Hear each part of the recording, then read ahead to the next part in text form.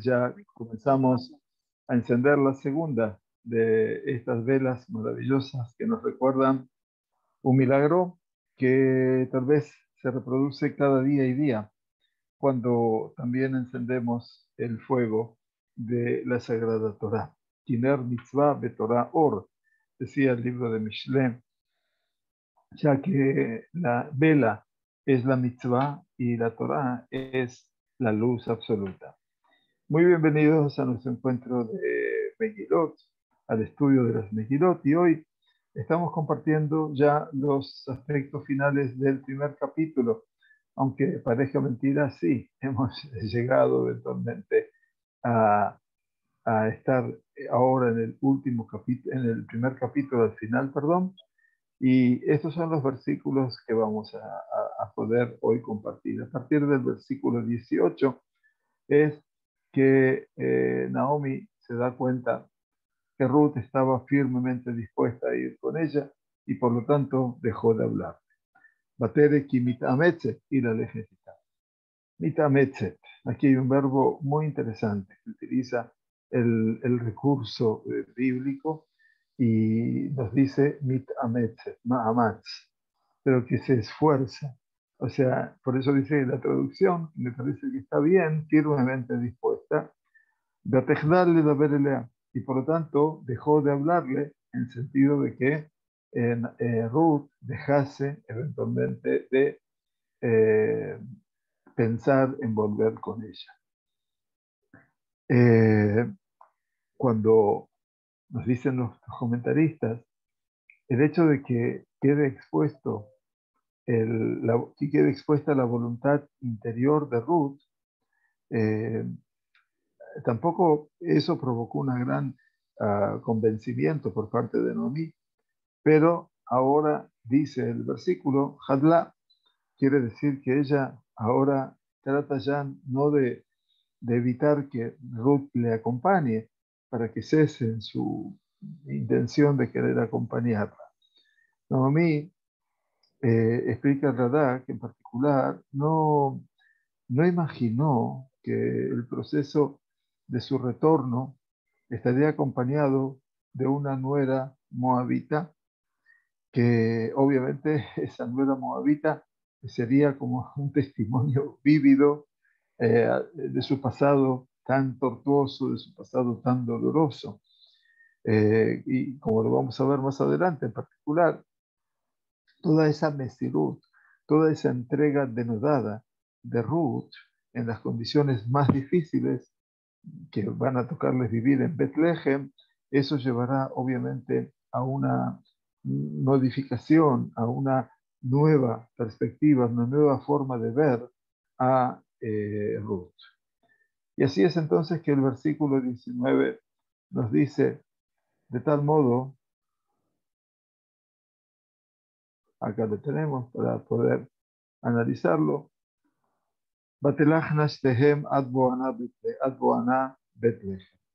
De tal modo que ambos siguieron, ambas siguieron su camino hasta que llegaron a Betlehem.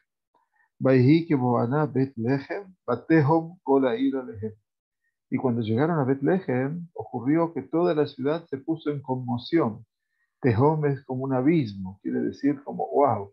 La gente se quedó súper sorprendida con respecto a ellas. Y Batomarna Azot Naomi. Y las mujeres decían, ¿es esta Naomi? Tenemos aquí un cuadro que si no lo podemos ver, lo podemos obviamente imaginar. ¿Qué es lo que está pasando en Bethlehem? La gente, las mujeres están viendo quién llega. Y más allá de que pasaron 10 años, 10 años, una persona adulta no sufre tantas transformaciones. Desde ya que no, se mantiene. Puede ser que esté un poco más avejentada, pero no más que eso. Y por lo tanto, cuando llegaron, la primera sensación es ese tejón, es ese, ese estruendo, esa conmoción en la ciudad. Y por otro lado, una pregunta que tal vez pueda ser retórica pero como para poder empezar a imaginar que esa conmoción tiene un destinatario y que es verla Noel. Batelach de tal modo que ambas caminaron, hicieron su camino.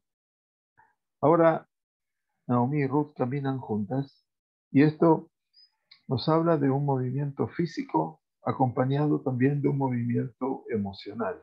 Ya lo dijimos, el verbo la lejet, que tiene que ver no solamente con una posición desde el punto de vista físico, sino también emocional. El hecho de que Ruth se haya sumado a Naomi llevó a que las dos tuviesen que salir de su posición, de su estatus anterior.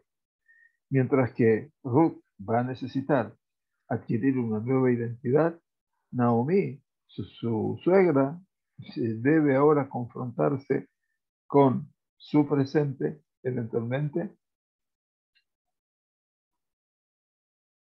eh, se escucha bien, ¿verdad? Porque me pone señales de que no, se, no funciona bien mi, mi audio.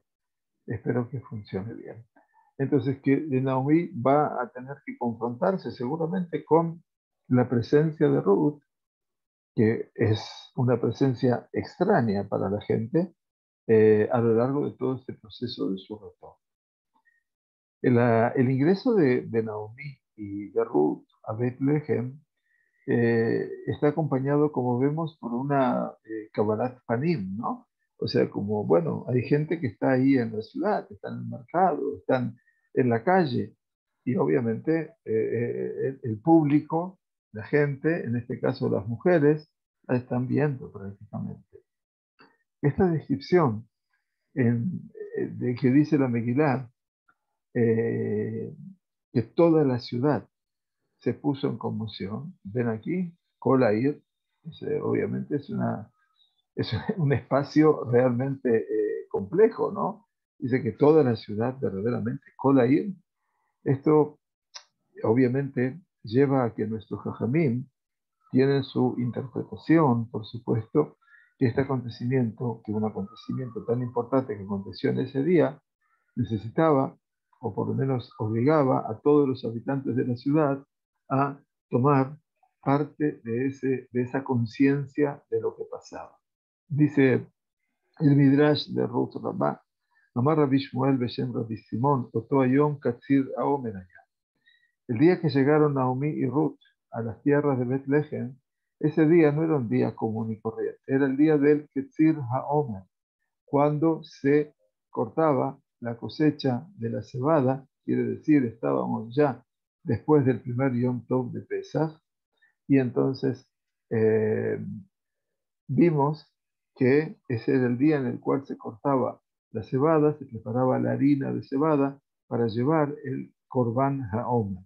Quiere decir que es uno de los dos aspectos significativos que pasan después del primer Yom Tov de Pesach. Nosotros hoy nos queda solamente una tradición que se llama Sefirat la cuenta del hombre. Por eso Rabbi Shemuel, el nombre de Rabbi Shemuel, dice que ese día era justo que toda la gente estaba fuera en los campos. Por eso.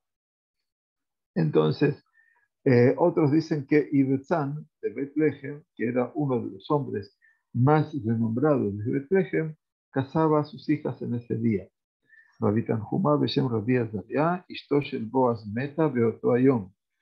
Otra posición de los Jajamim en el Midrash es que en ese día había fallecido la esposa de Boaz. kol Israel hasadim, bezil kol ama Y dice, y todo el pueblo de Israel, cuando obviamente falleció una persona, todo el mundo se conglomeraba se reunía para hacer Gemilut Hasadim, ante todo con la familia del fallecido y después también, por supuesto, ante todo con el fallecido.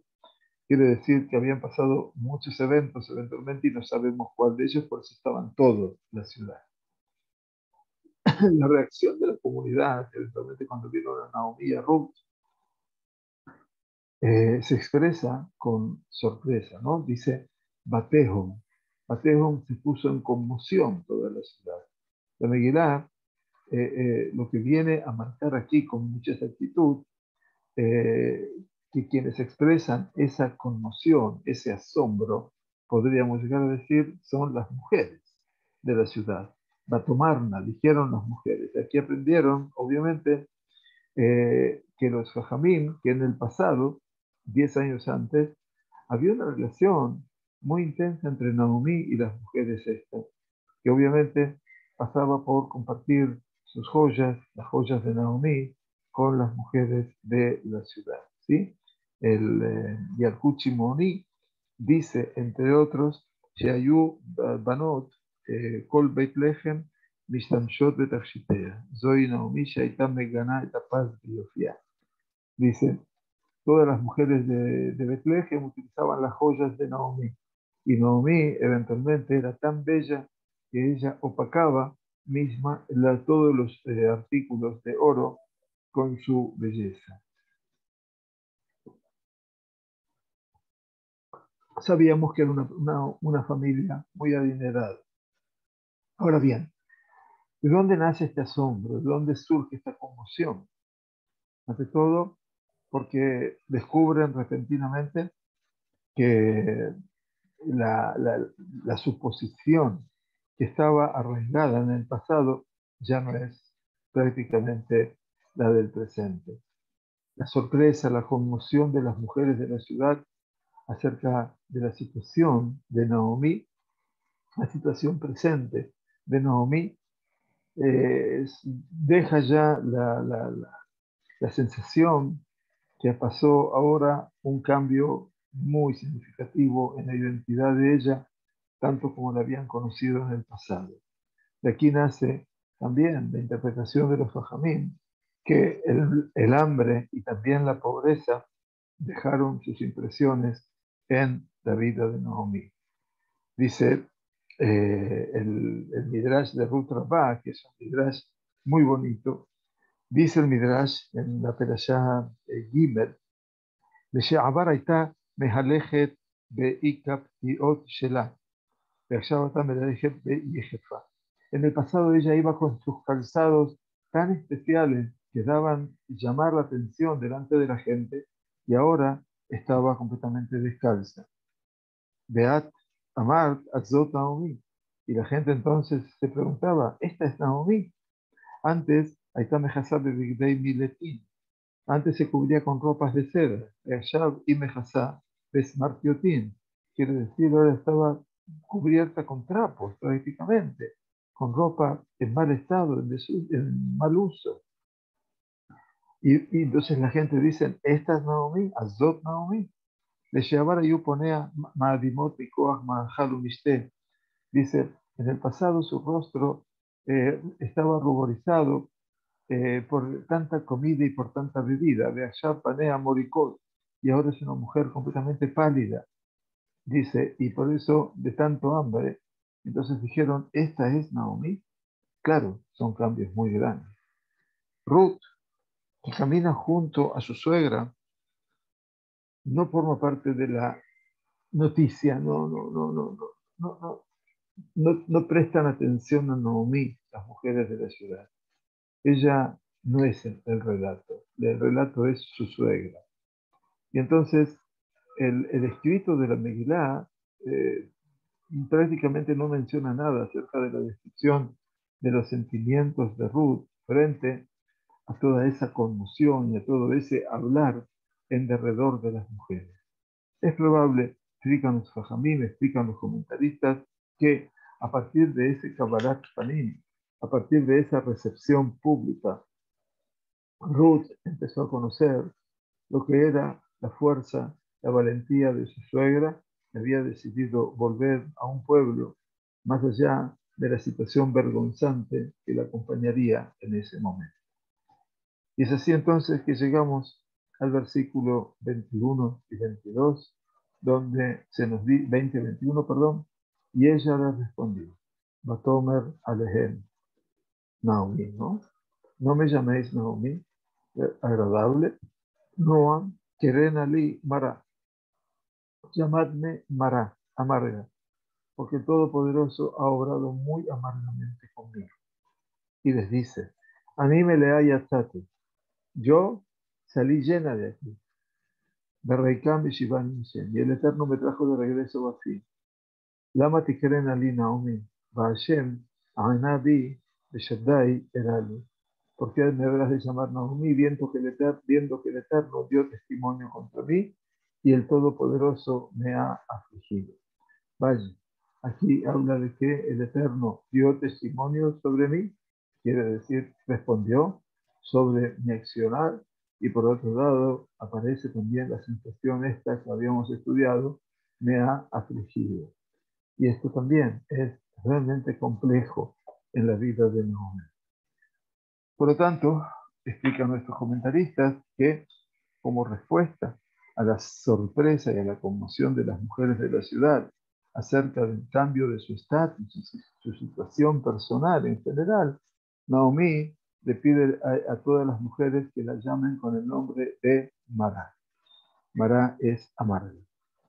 De esta forma, ella está marcando una realidad ya para que la gente tome conciencia, que lo que es, las mujeres en general están asombradas y la mujer que ellos piensan que están mirando es, no es la mujer que ellos pensaban que era, sino que esta mujer que está ahora delante de ellas es una nueva persona. Y esa persona es Mara, ya no es Naomi, es la antítesis de su nombre. De lo agradable, de lo dulce, Naom, Naim, agradable, dulce, Noam, ahora es Mara. Y por lo tanto, no soy la del pasado, la que ustedes conocieron. Y entonces, todo este cambio, ella explica, ah, proviene de, una situación dramática y extrema, llamémosla así, que en última instancia ha cambiado toda su esencia, la ha transformado en un ser completamente nuevo, y ese ser nuevo que contiene dentro de sí una amargura de aquellas que son las más dolorosas. Y por lo tanto, ella le pide a las mujeres Querena Li Mara, por favor, llámenme con el nombre de Mara. Y esto obviamente duele porque para una mujer que se supo ver bien, que se supo ver de una manera eh, contundente desde la perspectiva de lo que representaba una conducción dentro de su propio pueblo, ahora obviamente el cambio de su estatus es muy grande. Eh, el proceso eh, habla aquí en la Barbanel, en Mahayané y Yeshua, el, el, proceso del cambio del nombre eh, por este nombre nuevo de Naomi nos enseña sobre eh, una, un cambio consciente que pasó a lo largo de este proceso general, no solamente por lo que le pasó una vez o dos veces la muerte de su esposo y después de sus dos hijos, sino en todo el proceso de su retorno. Mientras que ¿Se recuerdan ustedes que estudiábamos el nombre de los hijos? Representaban un testimonio, Mahlón y Gideón, de, un abandono de sus padres de la realidad en la cual vivieron y prácticamente con, con su propia voluntad ellos decidieron desumirse, desconectarse de su pueblo. la elección del nombre de Naomi ahora expresa un sentimiento, digamos, de, de una amargura interior, una profunda depresión, pero a pesar de eso, ella sigue, continúa marcando eh, eh, eh, el presente de que Dios está allí en su vida, independientemente de lo que, cómo Dios le ha castigado o le ha dado testimonio contra ella. El hecho de que ella mencione el nombre del Todopoderoso permanentemente y varias veces, habla acerca de esa conciencia que tras todos los cambios para mal que pasaron en su vida, está también cómo el Todopoderoso se relacionó con ella y con respecto a su familia. Pero junto con esto existe también eh, una cierta confusión, si podríamos decirlo así, en el sentido de sus palabras. No, no está claro si Naomi eventualmente está justificando lo que le pasó y comprende que su familia fue castigada por el hecho de haber abandonado la tierra de Israel en un momento en el cual toda la gente ponía sus ojos en ellos, que podían ser la ayuda física y material para su angustia, o tal vez no sabemos si esto verdaderamente forma parte de su continente espiritual en este momento. También se puede decir que las reacciones de las mujeres de la ciudad con respecto a las palabras de Naomi no están eh, descritas en la Biblia. Ellas dijeron a Zot Naomi, nada más. Dijeron, ¿acaso esta es Naomi? Por lo tanto, vamos a hablar vamos a encontrar al final del capítulo 4, vamos a encontrar de vuelta a estas mujeres. Vamos a ver qué hablan, pero vamos a ver que eh, ahí sí opinan sobre lo que había pasado. Bueno, por lo tanto, termina el capítulo 1 en buena hora para todos los que nos van acompañando en, esta, en este periplo tan interesante, donde dice, Batasho Naomi Berruta Moabía, y entonces nos dice de tal modo que volvió Naomi y Ruth la Moabita, Calatá, su nuera, y Ma, junto con ella, eh, Ashaba Misle Moab, quienes regresaron desde la tierra de Moab a Betlehem, Beemabau Betlehem, Betjilat Seore. Y llegaron a Betlehem en la época del comienzo de, como les dijimos, de la cosecha de la cebada. ¿sí? Entonces vean ustedes que estamos en la cosecha de la cebada, estamos en tiempos de pesta. Mamás, mamás en tiempos de pesta. Y aquí ya podemos ver que hay otra realidad que marca cuál es el estatus de Betlehem. Bueno, aquí este que entonces consideramos que es una suerte de cerrar un círculo, una suerte de cierre del círculo para todo lo que se ha desarrollado desde que comenzamos a estudiar Megillat y hasta aquí. Entonces, la empezó hablándonos del movimiento, de la movilización de un padre de familia y con la voluntad de querer desconectarse absolutamente de la tierra en una época de hambruna. ¿Y cómo termina este capítulo? Termina cerrando el Mahagal, termina cerrando ese circuito con un movimiento de quien del retorno de su mujer en el momento en el cual se está cosechando ya la cebada porque la tierra ha empezado a dar de sus mejores frutos. Y así entonces es que llegamos, obviamente, al segundo capítulo en buena hora. Y entonces nos dice, Naomi moda le Isha. Noemí tenía un pariente, le Isha. Es de la Ish Shelah, quiere decir de su marido. Ella tenía un pariente. Muy bien, quiere decir que en Alman Israel, lo Alman Israel. Los Jajamim dijeron, siempre tenemos alguien que va a acudir en nuestra ayuda. Ishgibor Jail era un hombre poderoso, muy valiente, de la familia de Elimelech. Prestemos atención, Elimelech era el marido de Naomi fallecido. Y aquí aparece el hombre que va a ser muy significativo en toda nuestra Megilá y que se llama Boaz. Y Boaz obviamente va a, va a tener un, un presentismo muy, muy marcado. Bueno, por lo tanto, tenemos que saber cómo se explica eh, el Abarbanel. Este segundo capítulo empieza con la descripción muy, muy amplia acerca de una figura que para nosotros va a ser señera, como les decían, que su incorporación a lo largo de todo el desarrollo representa obviamente un punto que gira toda la realidad de la Megilá. Eh, a partir de una lectura bien detallada y poder descender verdaderamente, si lo logramos hacer, a la profundidad del Peshat, nada más. ¿no? O sea, no, no vamos a ir a buscar aquí más explicaciones de las que podemos encontrar concretamente. Ayer en una clase que había una cincuentena de alumnos del exterior, de México, de Argentina, Venezuela, Uruguay, Colombia, etcétera, Perú. Eh, entonces ellos me agradecían después del shogur por haber dado un shogur de acuerdo al Peshat.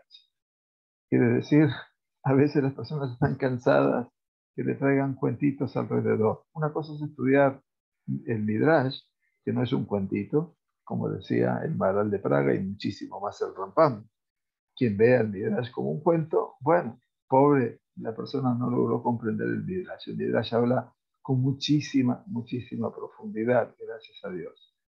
Por lo tanto, dice, si nosotros logramos llegar a la profundidad del sentido literal, vamos a poder empezar a armar un puzzle de figuras. Eh, y, el, el hecho de que podamos tomar conciencia con las cualidades y los atributos nos va a llevar a, nosotros a, poder comprender por qué esa figura tuvo el mérito de unirse a este relato, en este caso Boaz, y cómo va a poder, obviamente, esa figura poder cambiar todo el tiempo que habrá de sobrevivir. Por lo tanto, empieza la Megidá y dice, Unaomi modale isha, ish giborjai, y mishpahat hushmo Boaz. Empieza entonces diciendo que Noemí tenía un pariente por parte de su marido. Así comienza nuestro segundo capítulo. Quiere decir que todo el drama que hemos vivido hasta ahora eh, y también el punto en el cual todo habrá de invertirse, están, sigue Ule Naomi, sigue siendo el eje de todo el relato Naomi. Dice que eh, el hecho de que Boaz está relacionado con Naomi, porque es obviamente pariente de quién, el marido de Naomi, por medio de la palabra modá. Modá quiere, modá quiere decir conocido. En este caso, por eso tradujimos como pariente. Nos habla a nosotros, ¿no es cierto?, que, eh, eh, eh, que en el lugar donde uno puede observar tal vez la crisis, la muerte de su marido, el hecho de haber quedado sin familia, desde allí puede estar encerrado en esa profunda depresión y oscuridad, también la redención. El verbo yadoa, la, palabra modá, es el verbo yadoa, saber, conocer. Y como estudiamos en Shabbat generalmente, a través de Rab Volve, el verbo yadoa eh, viene a marcar dos cosas, dos, dos aspectos esenciales. Uno es la Havana, que es la comprensión de algo, y por otro lado la Hakara, la conciencia de ese algo. Quiere decir que saber algo, saber ese algo, implica saber, eh, de conocer a ese algo, tomar conciencia de ese algo. En la medida que nuestro conocimiento como personas se puede incrementar, así también se incrementará nuestra comprensión, que habrá de ser mucho más profunda y podrá ser mucho más aclaratoria de toda nuestra realidad. Para poder entender esta, eh, por ejemplo, eh, nos habla la, tradición rabínica, ¿no? ¿Qué nos dice la Torah? Beha Adam yada et ishto batahar batelet et y, el Adam supo. Supo quiere decir que la supo sexualmente. En este caso, supo a Jabá, su mujer, y que en última instancia tuvo un hijo llamado Cain, su primer hijo. Por lo tanto, para poder describir ese, esa conciencia profunda entre el hombre y su mujer, el texto de Bereshit utilizó el verbo yadoa para, para expresar esa relación dual entre el hombre y la mujer, tanto a nivel espiritual como a nivel corporal. Y entonces el verbo yadoa representa no solamente un conocimiento intelectual, sino también espiritual y también físico. Aquí aparece la palabra moda y eso es muy, muy interesante. La descripción del primer eh, eh, pasuk de, este capítulo 2 nos enseña que la figura que tenemos aquí delante nuestro, Boaz, eventualmente, eh, va a ser algo muy interesante. Dice, esta persona Boaz conoce profundamente el mundo interior de Elimelech, todo lo que pasó con su pariente, Elimelech, lo sabía muy bien, y todos los pormenores de estas dudas existenciales y espirituales que le provocaron a Elimelech, su pariente, abandonar la tierra. De aquí es que surge también aquello que los jajamim estudiaban en su interpretación, que esta persona tenía también sentimientos de cariño particular y de valoración por Abimelech.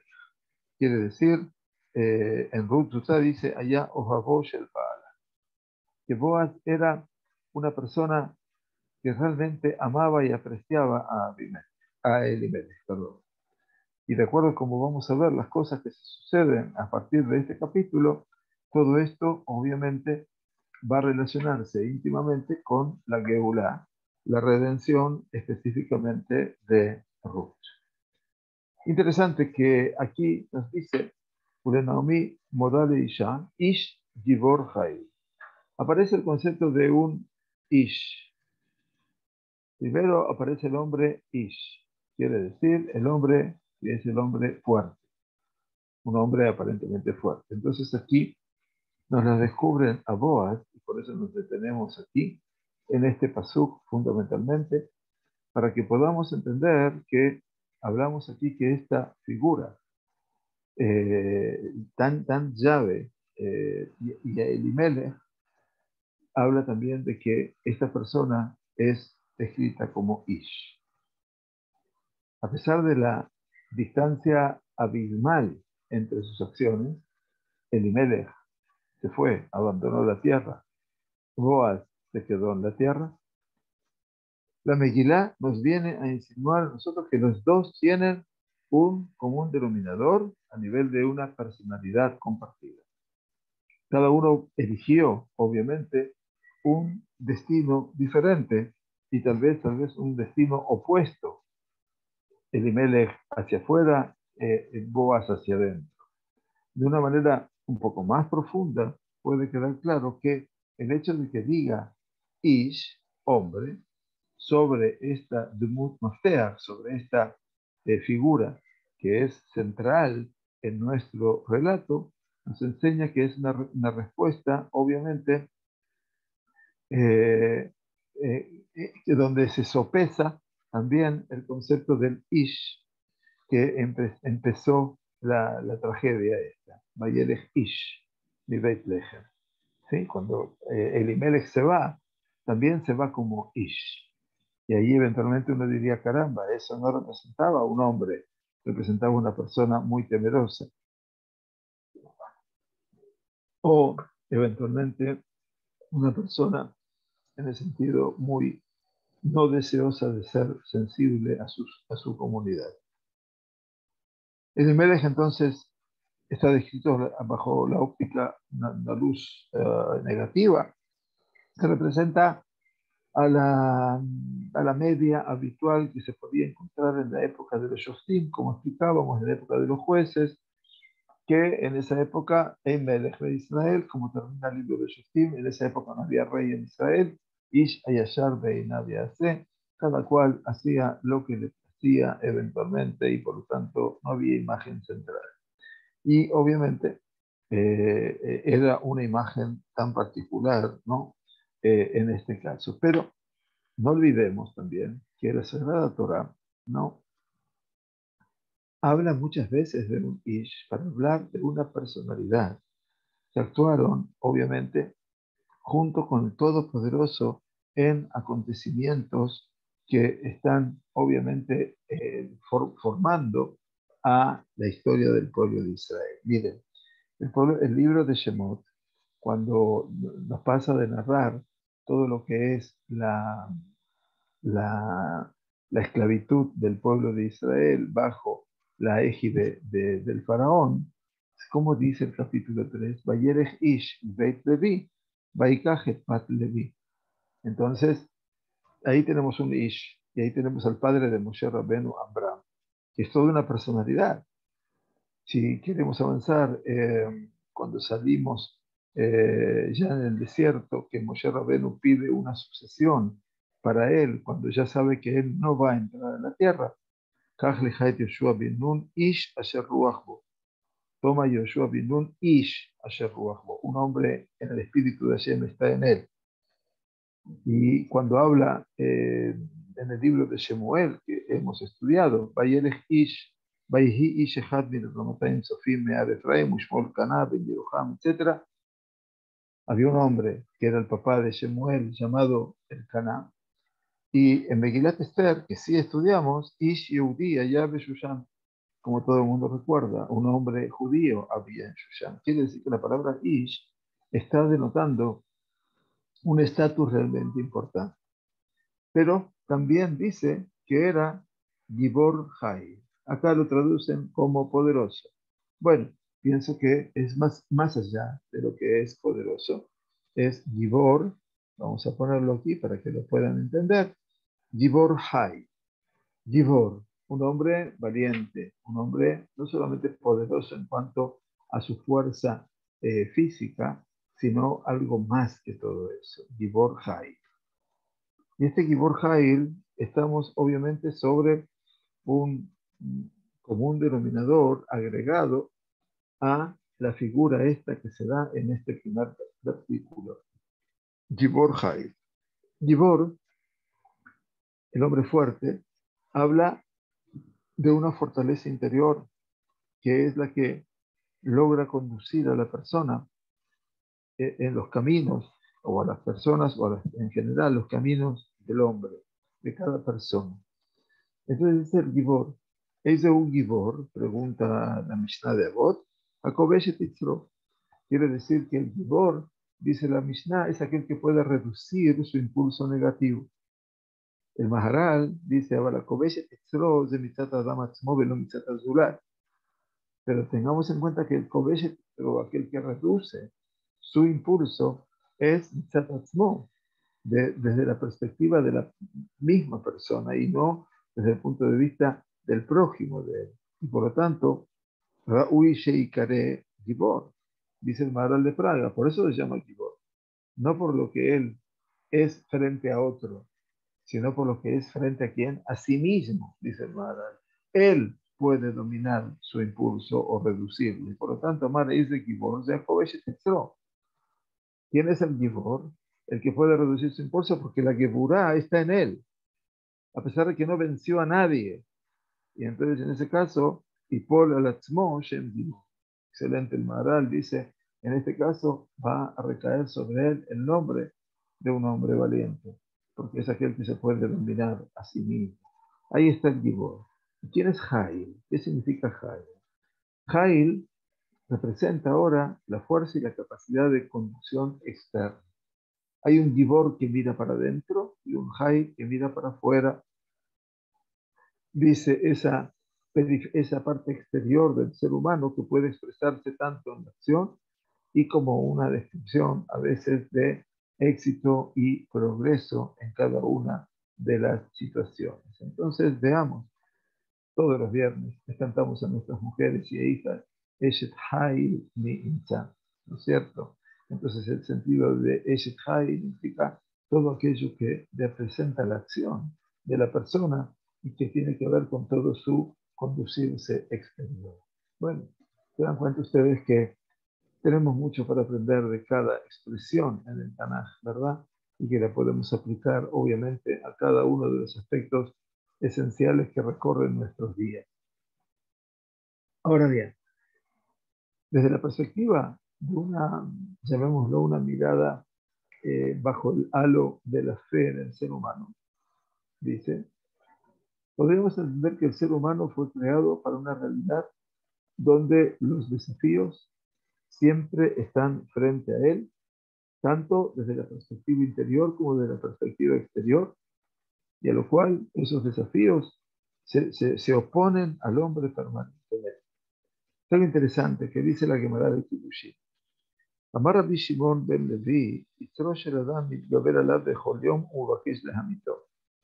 Dijo Rabbi Shimon ben Levi en la Gemara de Kiddushin, el impulso del hombre trata de sobreponerse sobre él cada día y lo que busca es perjudicarlo hasta producirle la muerte. Sheneemar, como dice el libro de Teirim 37, como Está observando permanentemente el Rasha, el perverso al justo, y está queriendo matar. En la perspectiva, el impulso del mal sobre el impulso del bien.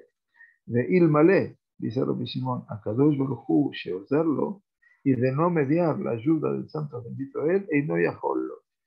Dice, no podría el ser humano poder enfrentar a ese aspecto negativo. Como dice el final del libro de este pasú de Teilim 37-32, por último, Hashem no lo habrá de abandonar. Maravillosa la idea. La posibilidad de que el hombre tenga éxito es difícil y a veces inclusive es una meta inalcanzable. ¿No es cierto? Eh, el Masacre Rubín, estudiamos una vez aquí eh, en otro ámbito, algo muy, muy bonito. Eh, Tanur Banan enseñó una baraita, una Mishnah, que no está en la Mishnah oficial. Durante dos años y medio discutieron Bet las grandes escuelas del pensamiento judío, en la época casi final del segundo Bet Amigdash. Halalu Ombrim, uno sostenían, Bet no Achlola Adam Shelon Ibra y Entonces decían, hubiera sido mejor para el hombre no haber sido creado que creado. Y los otros dicen, Betilel, no Adam Shelon Ibra y No, al contrario, mejor que el ser humano fue creado que, de que no fue creado. Nimnu Begambrobu, entonces después empezaron a discutir, llegaron a una conclusión. ¿Cuál fue la conclusión? No Achlola Adam Shelon Ibra y Mejor hubiera sido que el hombre no fuese creado más de haber sido creado. Akshab Shenibla, que tiene que ser, y ahora que fue creado, porque el hecho es que Akadosh Baruj sí lo creó al ser humano, entonces decidieron y de Bishamay decir, Yefashpesh Bemasa. Ahora tiene que hacer, hurgar y revisar y rebuscar entre sus acciones. Y esto es lo bueno. Porque en el alma del ser humano, mis queridos y queridas, existen tendencias, existen atributos o defectos naturales cuya eh, eh, existencia base eh, de raíz lo van a llegar a, atraerlo, digamos, hacia cauces extraños, externos a él, muchos más extraños, diría, del mundo espiritual y del mundo moral. Y en ese mundo exterior existen confrontaciones sociales y por supuesto también aspectos que lo incitan al ser humano tanto en su medio ambiente que lo pueden sacar eh, o lo pueden desviar completamente del camino del temor y de la época. La respuesta a todos estos desafíos eh, está básicamente sobre dos cualidades. Uno se llama Mirata Gibura, quiere decir el atributo del valor, Gibor Hai, que trae obviamente una suerte de inmunidad espiritual, pero también trae valores a partir de los cuales el ser humano puede pararse puede enfrentar, obviamente, cuando lo ataca, obviamente, alguna de estas circunstancias ajenas a él. Pero el Gibor también es Jail. Y el Jail me da a mí los instrumentos eventualmente apropiados para que yo pueda enfrentarme con todo eso y me ayuda a poder modificar, actuar, rediseñar, si quiero, la realidad mía eh, y no solamente eh, sobrevivir espiritualmente. La Megilá obviamente nos trae aquí una eh, remes, una alegoría muy importante que estas cualidades de esta figura esencial que se llama Boaz estarán puestas más a, examen a lo largo de distintos aspectos de este escenario y por supuesto que eh, logrará superar por medio de la Geburá y del Jair, Gibor Jair, que dice la Megilá, que no es tan solo poderoso, como ustedes se dan cuenta, actuará todo en función de las circunstancias que del relato y también va a traer su Jotam, su sello, eventualmente a las generaciones venideras. Dice en el Midrash de Ruth Amar Rabbi Abahu, Nafil Nasib le Nefila Maimamidim Gibore Jair. Boaz Nesib Lerut, Ma'ema Amidim, David. Dice, Nafil Nasib le Nefila, Ma'ema Amidim, Kiporjai. Dice, si una persona común se casa con otra persona común, ellos pueden traer un Gibor Así también Shimshon fue un Gibor ¿verdad? En el seno del pueblo judío. Los padres Manoach y la mujer de Manoach. Pero Boaz se casó con Ruth y que ellos trajeron a David.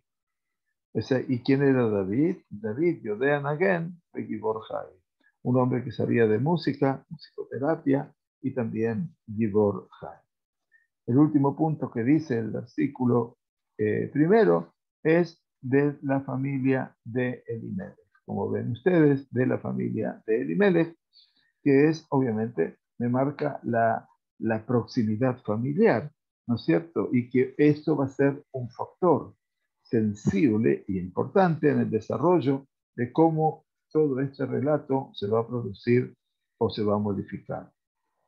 Entonces, esa, esa proximidad familiar, esa cercanía, puede hablar acerca de un eslabón a partir del cual surgieron Elimelech y Boaz también. Y por lo tanto, la Mishpahá, eventualmente, en su sentido amplio, nos incluye, nos incorpora bajo las alas de una familia reigal, que es mucho más extensa, y existe, por supuesto, una suerte de eh, acción o de influencia solidaria y positiva una sobre las otras. Y por eso los Fajamim dijeron que esta persona era Bendodo Shel Elimelech, era como un primo, quiere decir, o le Naomi Modale Isha, dice la Ruth Sotá, que era el, el primo de Elimelech. Muy bien, aquí vamos a dejar por hoy para poder continuar desde Hashem en la próxima semana, con favor de Dios, y poder seguir estudiando este apasionante escenario que cuando espero lo podamos estudiar con profundidad, creo que ya cuando llegue el próximo Shavuot estaremos con la capacidad de poder leer Megillat Ruth, no tan acelerados, sino también prestando atención a todo lo que bien acontece en ella.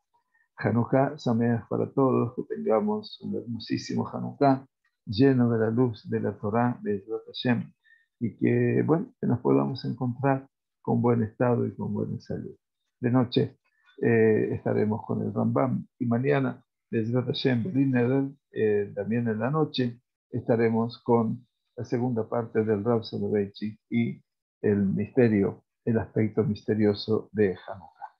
Muchas gracias por acompañarnos. Y gracias por estar con nosotros. ¿sí? Gracias.